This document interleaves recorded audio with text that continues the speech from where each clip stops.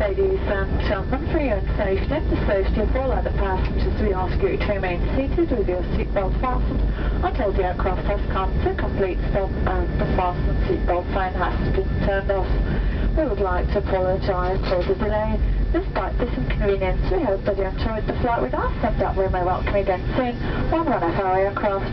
We wish you now a pleasant stay here in Sofia or a good continuation of your trip.